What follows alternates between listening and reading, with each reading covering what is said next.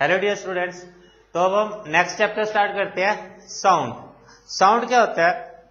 हमें पता है साउंड जो हमें सुन, हम सुनते रहते हैं साउंड कभी बर्ड्स की साउंड सुनते रहते हैं कभी व्हीकल्स के हॉर्न्स की आवाज़ सुनते रहते हैं.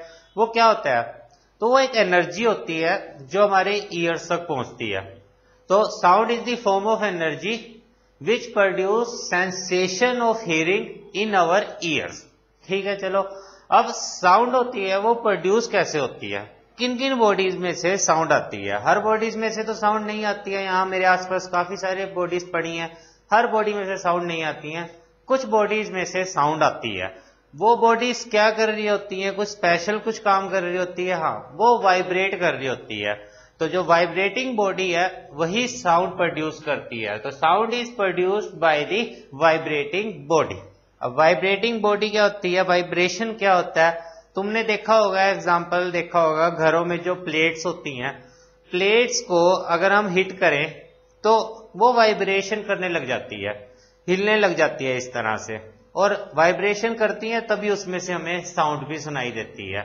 और भी तुमने एग्जाम्पल्स दी, देखे होंगे, हम फोक होता है, इस तरह से फोक अगर हम इसको भी हिट करें, हमें इसमें से आवाज़ आती है, क्यों? क्योंकि ये वाइब्रेट कर रहा होता है। ये वाला जो पोर्शन है, कभी इस तरफ़ जाता है, कभी इस तरफ़ इस तरफ़ इस तरफ़। तो ये वाइब्रेशन कर रहा होता है तो वाइब्रेशन बॉडी या वाइब्रेटिंग बॉडी ही साउंड प्रोड्यूस करती है। अब वाइब्रेशन क्या होता है? जैसे तुम्हें प्लेट का एग्जांपल दिया था, अब प्लेट में हर चीज़ हमारी एटम से बनी होती है। एटम पार्टिकल्स जो हमारे हर चीज़ हमारी एटम से या पार्टिकल से बनी होती है। तो जैसे ही उसको हिट किया तो उसके पार्टिकल्स वाइब्रेट करने लग गए। किसके?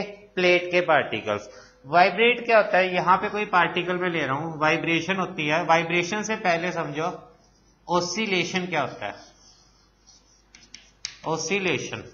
मान लो कोई भी पार्टिकल है, कहीं भी है, मान लो इस तरफ़ है या किसी के अंदर है इसके या जब भी तुम्हें एग्ज़ाम्पल दिया, जैसे प्लेट का प्लेट का पार्टिकल है, कोई भी पार्टिकल है, कोई भी चीज़ है अगर, वो ऑसिलेशन कर रही है, इसका क्या मतलब होता है? कि ये कोई पार्टिकल है, अगर ये गया, इस तरफ़ जाते जाते यहाँ रुक गया, फिर वापिस आया, वापिस जाते जाते इधर गया और इस तरफ़ जाकर रुक गया और फिर वापिस आया। इस तरह से वो अपनी मोशन कर रहा है। एक बार इस इस एक्सट्रीम एंड को छूकर आ रहा है। एक बार इस एक्सट्रीम एंड को छूकर आ रहा है और फिर वापिस आ रहा है। यही प्रोसेस रिपीट करता जा रहा है तो इसको कहेंगे कि ये ऑसिलेशन कर रहा है। तो ये जो उसकी पोजीशन है, ये मीन पोजीशन और इस मोशन को क्या कहते हैं? मोशन कई टाइप्स की होती है। अगर वो सिर्फ़ स्ट्रेट लाइन में ही चलता रहता तो उसको बोलते हैं ट्रांसलेटरी मोशन अगर वो सर्कुलर पाथ में रोटेट करता रहता तो उसको बोलते हैं, हम रोटेटरी मोशन तो लेकिन अगर ये इस तरह से जा रहा है कि एक बार इस एक्सट्रीम एंड को छूकर आ रहा है, फिर इस एक्सट्रीम एंड को, फिर वापिस इस तरह की जो मोशन करता जा रहा है तो इसको बोलते हैं to and fro motion to and fro motion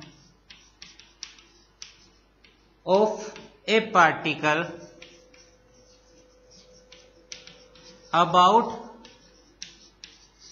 its mean position mean position is called oscillatory motion तो इस तरह की मोशन को oscillatory मोशन कहते हैं और ओसिलेटरी मोशन अगर बहुत फास्ट हो रही है, काफ़ी तेज़ी से ओसिलेशन हो रहे हैं, बहुत तेज़ी से ओसिलेटरी मोशन हो रही है तो उसी को ही हम वाइब्रेटरी मोशन कह देते हैं और कहते हैं ये वाइब्रेशन हो रही है। तो बस यही फ़र्क होता है ओसिलेशन और वाइब्रेशन में।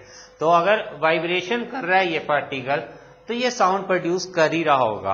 वो बात अलग है, हम उसको नोटिस कर पा रहे हैं या नहीं, लेकिन अगर वो इस तरह की मोशन कर रहा है तो उसमें से साउंड प्रोड्यूस हो ही रही होगी। ठीक, अब देखो अब वो साउंड हमारी ईयर्स तक कैसे पहुँचती है? जैसे किसी चीज़ को अभी बताया तो वह प्लेट को हिट किया, वो वाइब्रेशन करने लग गया उसके पार्टिकल वो वाइब्रेशन वहाँ पर प्लेट और मेरे बीच में क्या चीज़ है? एयर है। एयर में भी तो पार्टिकल्स है, ठीक है? कौन से पार्टिकल ऑक्सीजन कार्बन डाइऑक्साइड ये सब पार्टिकल्स है। तो उस प्लेट के पार्टिकल जा, वो टकराते हैं एयर के पार्टिकल से। तो एयर के पार्टिकल वाइब्रेशन शुरू कर देते हैं। तो एयर के पार्टिकल्स अगले पार्टिकल से टकराते हैं, वो वाइब्रेशन शुरू कर देते हैं। तो इस तरीके से वाइब्रेशन हो होकर कोई पार्टिकल हमारे ईयर में ईयर ड्रम से आके टकराता है। उसके बाद वो टकराता है, वो सेंसेशन वो इलेक्ट्रिकल सिग्नल में कन्वर्ट होता है और ब्रेन तक पहुँच जाता है। तो इस तरीके से कोई भी साउंड हम किसी भी बॉडी से वाइब्रेटिंग बॉडी से हमारी ईयर तक पहुँचती है। तो अगर साउंड आ रही है तो बीच में मीडियम का हर पार्टिकल वाइब्रेट कर ही रहा होगा। तो मीडियम क्या होता है? ये जो एयर है वाटर है, ये सारे मीडियम होते हैं। तो साउंड अगर हमें सुना, आ रही है किसी तो बीच में हर पार्टिकल वाइब्रेट कर ही रहा होगा। ठीक है?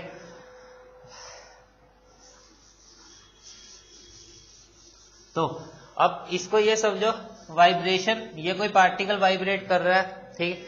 तो यहाँ से साउंड आ रही है। ये मेरे तक पहुंचेगी साउंड तो इससे कुछ करेक्टरिस्टिक देखो। करेक्टरिस्टिक ऑफ़ साउंड जैसे अब टाइम पीरियड क्या होता है? सेकंड फ्रीक्वेंसी क्या होता है? थर्ड एम्पलीट्यूड क्या होता है? देखो। ये कोई पार्टिकल वाइब्रेट कर रहा है? ठीक है। अब वो अपनी मीन पोजीशन से दूर जाता जा रहा है। एग्ज़ाम्पल होते हैं one meter two meter three meter four meter तो यहाँ से इस एक्सट्रीम एंड का डिस्टेंस इस मीन पोजीशन से सपोज़ फोर मीटर है। तो मीन पोजीशन से मैक्सिमम वो कितना दूर आया? पहले वन मीटर आया two meter three meter maximum कितना दूर आया? फोर मीटर तो यही इसी को बोलते हैं एम्पलीट्यूड यहाँ से यहाँ तक ये amplitude so the maximum displacement of the particle from the mean position is called amplitude और इसके यूनिट क्या होते हैं? मैक्सिमम डिस्प्लेसमेंट वर्ड यूज़ किया। और डिस्प्लेसमेंट का यूनिट क्या होता है? बोलो डिस्प्लेसमेंट का यूनिट सोचो क्या होता है? ऐसे unit of displacement is meter तो इसका भी एम्पलीट्यूड का भी यूनिट होएगा मीटर अगला देखो टाइम पीरियड क्या होता है? अब ऑब्जेक्ट यहाँ से शुरू हुआ, एक बार इधर गया, इस एक्सट्रीम एंड को छूकर आया, एक बार इस एक्सट्रीम एंड को, फिर वापिस आया। तो इसको बोलते हैं एक साइकिल कंप्लीट करना। तो इसने ये एक साइकिल कंप्लीट करी और एक साइकिल या एक ऑसिलेशन या एक वाइब्रेशन कंप्लीट करी। तो एक ऑसिलेशन या एक वाइब्रेशन या एक साइकिल कंप्लीट करने में जो टाइम लगा उसको, उसी को ही बोलते हैं टाइम पीरियड तो time taken by the particle to complete one cycle is called time period और टाइम का ऐसा यूनिट क्या होता है? पता है तुम्हें? बहुत बार हम नोमेरिकल्स में भी यूज़ कर चुके हैं। ऐसा unit of time is second अब फ्रीक्वेंसी क्या होता है? फ्रीक्वेंसी का जो सिंबल होता है होता है nu and frequency is reciprocal of time period ये तो इसका फॉर्मूला हो गया। फ्रीक्वेंस अब फ्रीक्वेंसी का यूनिट क्या होगा? टाइम का यूनिट होता है सेकेंड तो फ्रीक्वेंसी का हो गया पर सेकेंड। लेकिन ऐसे सिस्टम में हम बार बार पर सेकेंड नहीं लिखते। इसकी जगह हम पर सेकेंड को रिप्लेस कर देते हैं हर्ट से। So hertz is a unit of the frequency frequency हमें क्या बताता है? फ्रीक्वेंसी हमें बताता है कि number of cycles completed in a unit time कि यूनिट में साइकिल लेता हूँ अगर तो एक सेकंड में ये पार्टिकल कितनी साइकिल्स कंप्लीट कर रहा है? मान लो, मैंने टाइम पीरियड निकाला, कुछ भी गिवन है टाइम पीरियड उसके बाद एग्ज़ाम्पल तुम्हें बताता हूँ कि जो टाइम पीरियड है, मान लो, वो टाइम पीरियड आ गया। वो गिवन है zero point zero five second ठीक है? तो फ्रीक्वेंसी कितनी है? वन बाय टी तो frequency one by zero point zero five कितना आ गया ऊपर जाके? हंड्रेड और डिवाइडेड बाय फाइव और इसको कितना आ गया? ट्वेंटी। यूनिट क्या तुम्हें बताए? पर सेकेंड नहीं लिखने हर्ट्स लिखना है।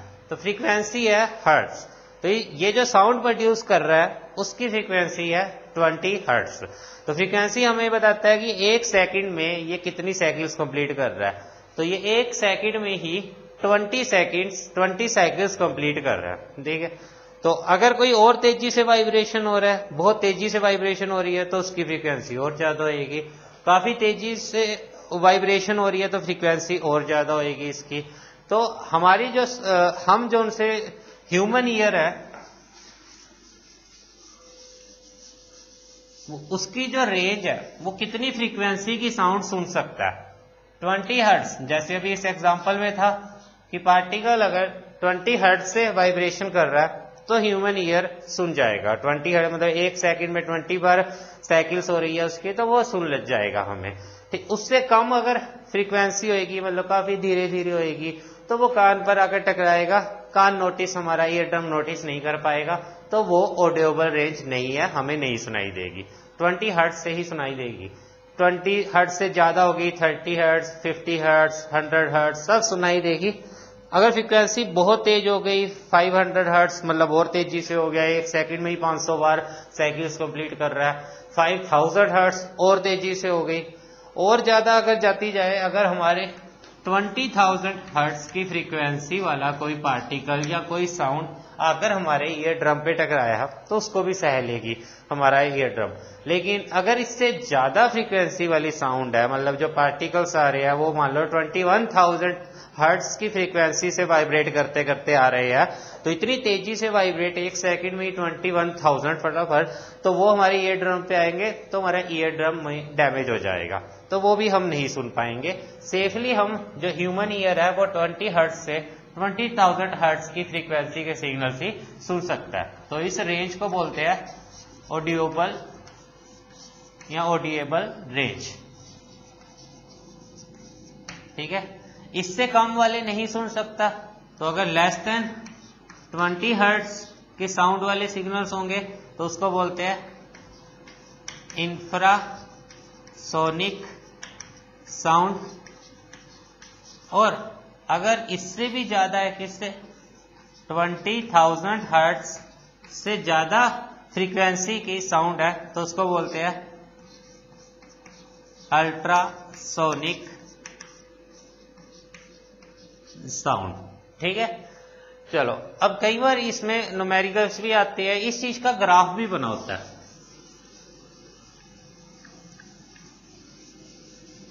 ग्राफ कैसे बनाया होता है? यहाँ पर देखो, इसकी डिस्प्लेसमेंट कितनी है? अभी चलना ही नहीं शुरू हुआ ज़ीरो तो मैं ग्राफ बना होता है डिस्प्लेसमेंट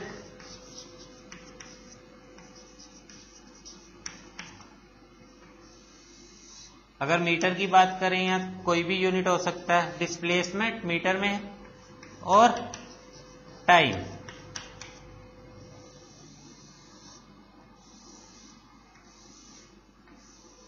अब मैं इसको नाम दे देता हूँ। सपोज़ ये पॉइंट है ओ ये पॉइंट है पी ठीक है?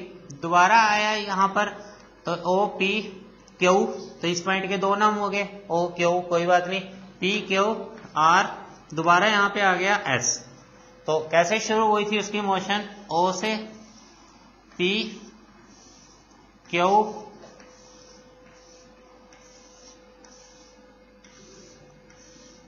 Are S. तो डिस्प्लेसमेंट कितनी थी? ओ पॉइंट पे ज़ीरो थी। ठीक है। उसके बाद पी पॉइंट पर कितनी डिस्प्लेसमेंट होगी? ए मैक्सिमम होगी ए उसके बाद क्यू पॉइंट पर दोबारा कितनी होगी? वापिस अपनी जगह पर आ गया। डिस्प्लेसमेंट होगी ज़ीरो फिर आर पॉइंट पर कितनी होगी? अगर मैं इधर प्लस से ले रहा हूँ और डिस्प्लेसमेंट वेक्टर क्वांटिटी है नेगेटिव हो सकती है। तो इस तरफ़ नेगेटिव है। उसके बाद पार्टिकल वापिस एस पे आ गया। तो कितना डिस्प्लेस है अपनी मीन पोजीशन से? ज़ीरो तो एस पॉइंट पर भी डिस्प्लेसमेंट होगी ज़ीरो अब टाइम पीरियड देखो टोटल टाइम है, वो कैपिटल टी टाइम पीरियड यहाँ से इधर इधर से इधर और यहाँ से वापस। तो उस टाइम पीरियड को भी मैं फोर पार्ट्स में डिवाइड कर देता हूँ। यहाँ टाइम था ज़ीरो यहाँ टाइम हो गया टी बाय फोर ठीक है? इधर आकर हो गया टू टी बाय फोर ये हो गया थ्री टी बाय फोर और ये फोर टी बाय फोर इसको यहाँ बना रहा हूँ मैं ज़ीरो और उसके बाद हो गया टी बाय फोर और ये उसके बाद टू टी बाय फोर जिसको चाहे टी बाय टू भी लिख दो। उसके बाद थ्री टी बाय फोर और उसके बाद four T by four four T by four को चाहे कैपिटल टी भी लिख दो। तो ये टाइम पीरियड अब इसमें जो ग्राफ होता है, वो इस तरह से ग्राफ होता है। इस तरफ़ डिस्प्लेसमेंट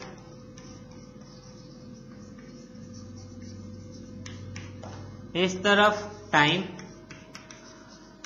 तो यहाँ पर मैं ज़ीरो टाइम इधर मैं बना रहा हूँ टी बाय फोर ये इक्वल डिवीज़न बना दिए इस तरफ़। Two T by four three T by four और फोर टी बाय फोर अब ज़ीरो पे कितना है? ज़ीरो टी बाय फोर पे कितनी है? ए डिस्प्लेसमेंट ए सपोज़ ये ए है तो ये माइनस ए होगी यहाँ कोई पॉइंट ले लेता हूँ minus A amplitude T by four पर है A two T by four पे zero three T by four पे माइनस ए तो यहाँ पर आ जाएगा। इस टाइम को मैं थोड़ा इस तरफ़ करके लिख देता हूँ। या फिर ये एरो है, इसको यहाँ पे टाइम अच्छा थ्री टी बाई फोर पर कितनी है? Minus A four T by four पर ज़ीरो। तो जब इनको मिलाएँगे, कैसे मिलाना है? स्ट्रेट लाइन से नहीं मिलाना है इसको। कर्व शेप में मिलाना है। तो जब कर्व शेप में इनको मिलाया, टू टी बाई फोर, उसके बाद थ्री टी बाई फोर, इस तरह से। ये पॉइंट इधर नहीं है, इधर है। यहाँ माइनस है और ये प्लस है। तो ये ग्राफ है। ग्राफ से भी कई बार क्वेश्चन पूछे जाते हैं कि बताओ कि टाइम पीरियड कितना है? तो यहाँ पर कुछ भी दिया होगा टाइम पीरियड टी की जगह किसी फॉर्म में दिया होगा। मान लो ये 0.5 सेकंड लिखा हो, ये वन सेकंड लिखा हो, ये 1.5 सेकंड ये टू सेकंड लिखा हो। तो टाइम पीरियड कितना हो गया? टू सेकंड फ्रीक्वेंसी कितनी होगी? वन बाय टू हर्ट्स क्योंकि फ्रीक्वेंसी फॉर्मूला बताया nu is equal to one by two amplitude कितना हो गया? यहाँ ए की जगह कुछ भी लिखा हो, मान लो 10 सेंटीमीटर लिखा हो तो मीटर में कर देना 10 बाय 100 मीटर। तो इस तरह से तुम्हारे क्वेश्चंस भी आ जाते हैं।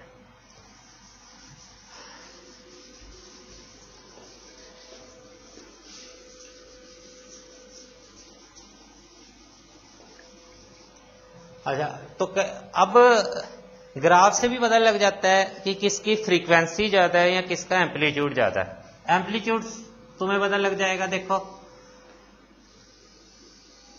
यहाँ पर दोनों का टाइम पीरियड सेम है, मान लो। सेम टाइम पीरियड है सब। और लेकिन इसका जो एम्पलीट्यूड है, ये वाली जो साउंड है, ये किसी और पर्सन ने छोड़ी होगी साउंड ये किसी और पर्सन ने तो उसका इस तरह से ग्राफ आया। मतलब उसका एम्पलीट्यूड ज़्यादा है, यहाँ डिस्प्लेसमेंट टाइम लिख देना। इस, इसका एम्पलीट्यूड ज़्यादा है, इसका एम्पलीट्यूड कम है। तो उसकी साउंड जब प्रोड्यूस हुई तो जो मीडियम के पार्टिकल है, वो मीन पोजीशन से ज़्यादा ज़्यादा दूर तक जा रहे हैं। ज़्यादा है, मैक्सिमम डिस्प्लेसमेंट इसका एम्पलीट्यूड। तो ग्राफ से भी पता लग रहा है कि एम्पलीट्यूड इसका ज़्यादा है और इसका एम्पलीट्यूड कम है, ठीक है? और फ्रीक्वेंसी का कैसे पता लगता है? ग्राफ फ्रीक्वेंसी में अगर दो ग्राफ्स है, दो साउंड्स निकली फ्रीक्वेंसी होती है number of cycles completed in unit time in one second मान लो, यहाँ तक, यहाँ, ये टाइम एक्सीज है, यहाँ से यहाँ तक वन सेकेंड है। तो यहाँ नंबर ऑफ़ साइकिल्स कितनी कंप्लीट हो रही है? ये एक साइकिल है। तो नंबर ऑफ़ साइकिल्स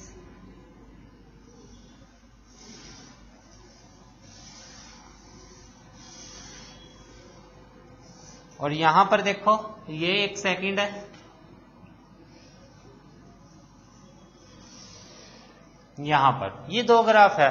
तुम्हें पूछा जाए टाइम पीरियड बताओ, सब कुछ बताओ, ये सब चीज़ें बतानी है तुम्हें। तो टाइम पीरियड तो तुम यहाँ से बता दोगे कि यहाँ से एक साइकिल कंप्लीट होने में कितना टाइम लगा टाइम पीरियड यहाँ भी एक साइकिल में टाइम पीरियड वैसे ग्राफ से पता लग के, ये भी पता लग जाता है, देखने से कि फ्रिक्वेंसी किसकी कम है या ज़्यादा है। कितनी है वो तो टाइम पीरियड निकाल के वन बाई टी से पता लग जाएगा। ये कम या ज़्यादा है? जैसे यहाँ देखते ही पता लग गया, इसका एम्पलीट्यूड ज़्यादा है। यहाँ फ्रीक्वेंसी किसकी ज़्यादा है? तो देखो, मान लो ये एक सेकेंड है टाइम ये टाइम पीरियड कुछ होगा ज़ीरो पॉइंट समथिंग कुछ होगा। ऐसे करते करते एक सेकेंड हो गया। और फ्रीक्वेंसी क्या होती है? एक सेकेंड में जितनी साइकिल्स कंप्लीट हुई। तो कितनी साइकिल्स कंप्लीट हो रही है? वन थ्री और ये कितने थ्री पॉइंट फाइव तो इसकी फ्रीक्वेंसी है थ्री पॉइंट फाइव हर्ट्स इस साउंड की। यहाँ डिस्प्लेसमेंट टाइम लिख लेना। इसकी फ्रीक्वेंसी कितनी है? वन साइकिल और अगली क्या हुई? 1.5 भी नहीं हुई पूरी। तो 1.25 1.25 हर्ट्ज किसकी फ्रीक्वेंसी ज़्यादा है? ऊपर वाले की। तो देख के कैसे पता लग रहा है कि जो ग्राफ इस तरह से भीड़ा भीड़ा बना हुआ ग्राफ जिसमें साइकिल्स पास पास हो स्पेसिंग कम हो, वो वाला जो ग्राफ है, देखते ही भीड़ा भीड़ा जो ग्राफ है, पता लग जाएगा इसकी फ्रीक्वेंसी ज़्यादा है और इसकी फ्रीक्वेंसी कम है। और जो ऐसे ऊपर एम्पलीट्यूड ये तो साफ़ ही पता लग रहा है, इसका एम्पलीट्यूड ज़्यादा है और इसका एम्पलीट्यूड कम है। ठीक है? अब कई बार पूछा जाता है कि पिच क्या होता है? और सेकंड पूछा जाता है लाउडनेस क्या होता है? अब pitch is related to frequency and loudness is related to amplitude क्या मतलब रिलेटेड पिच का मतलब है कि अगर किसी साउंड की फ्रीक्वेंसी ज़्यादा है तो कहेंगे कि हाँ इसकी पिच ज़्यादा है। जैसे pitch is the shrillness in the sound shrillness का मतलब जैसे कोयल की आवाज़ होती है, काफ़ी तिखी आवाज़ होती है, ठीक है? तो तीखी आवाज़ का मतलब उसकी जो आवाज़ निकलती है, जो मीडियम के पार्टिकल्स वाइब्रेट कर रहे होते हैं, वो बहुत तेज़ी से कर रहे होते हैं वाइब्रेशन उसकी जो फ्रीक्वेंसी होती है, काफ़ी ज़्यादा होती है। तो उसकी वॉइस में श्रिंकनेस ज़्यादा है तो उसकी वॉइस में पिच ज़्यादा है, उसकी वाली वॉइस की या उसकी साउंड की। तो किसी से रिलेट किया फ्रीक्वेंसी से, अगर किसी भी साउंड की फ्रीक्वेंसी ज़्यादा है तो उसकी पिच भी ज़्यादा है। तो pitch is related to the frequency जैसे तुमने एग्ज़ाम्पल दिया। अब अब अब पूछा जाए कोयल और ह्यूमन दोनों की साउंड में से किसकी साउंड की पिच ज़्यादा पिच ज़्यादा होती है तो तुम कह दोगे कोयल की। अब लाउडनेस क्या होता है? लाउडनेस किस loudness is related to amplitude किसी भी साउंड में से का अगर साउंड निकली, उसमें जो पार्टिकल्स वाइब्रेट कर रहे हैं, उनका एम्पलीट्यूड ज़्यादा है तो कहेंगे हाँ ये साउंड लाउड है। मान लो दो साउंड निकली। एक मान लो मैंने आवाज़ निकाली, एक लोयन ने निकाली है। तो उसने साउंड निकाली मैंने। मीडियम के पार्टिकल्स जो एयर है वाइब्रेट करने लग गए। मेर, मेरी साउंड से जो मीडियम के पार्टिकल्स है वो मेन पोजीशन से बहुत दूर तक नहीं जा रहे हैं। थोड़ी मतलब एम्पलीट्यूड कम है। और जो लोयन ने साउंड निकाली उससे जो मीडियम के पार्टिकल्स है वो मेन पोजीशन से काफ़ी दूर तक डिस्प्लेस हो रहे हैं। मतलब उसका एम्पलीट्यूड ज़्यादा है। तो एम्पलीट्यूड ज़्यादा है तभी तो हमें जो लोयन की साउंड है काफ़ी लाउड सुनाई देती है। तो जिस साउंड का एम्पलीट्यूड ज़्यादा होगा, वो लाउड सुनाई देगी हमें। तो loudness is related to amplitude अब तुमसे अगर पूछा जाए, ये दो है, इनमें से बताओ पिच किसकी ज़्यादा है? और पिच किसकी कम है? दो साउंड्स निकली हैं तो तुम कह दोगे, इसकी फ्रीक्वेंसी ज़्यादा है तो इस वाली साउंड की पिच ज़्यादा है, इस वाली साउंड की पिच कम है। लेकिन अगर पूछा जाए, इन दोनों में से, चलो इधर आओ एक बार, इन दोनों में से कौन सी साउंड लाउड है? और कौन सी कम लाउड है? तो कह दो इसका एम्पलीट्यूड ज़्यादा है तो ये ज़्यादा लाउड है और ये कम लाउड है। तो अच्छा अब इन दोनों में से पूछा जाए लाउड कौन सी ज़्यादा पिच तो ठीक है लाउडनेस बताओ किसकी ज़्यादा तो एम्पलीट्यूड देखेंगे तो एम्पलीट्यूड दोनों का सेम है। अगर इसको बिल्कुल परफेक्ट तरीके से बनाऊ मैं तो यहाँ दोनों का एम्पलीट्यूड सेम है तो दोनों की लाउडनेस सेम है इक्वल लाउडनेस है। इन दोनों से पूछा जाए कि बताओ इन दोनों में से किसकी पिच ज़्यादा है तो फ्रीक्वेंसी देखोगे। तो दिख रहा है टाइम पीरियड दोनों का सेम है।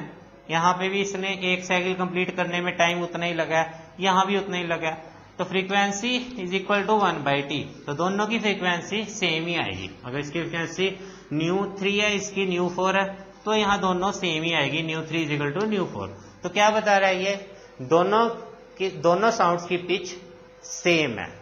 ठीक है? तो इस तरह से हमें साउंड के बारे में काफ़ी कुछ पता लगा होगा, ठीक है? तो क्लास आज के लिए इतना काफ़ी है। इससे आगे काम करेंगे नेक्स्ट लेक्चर में। Thank you class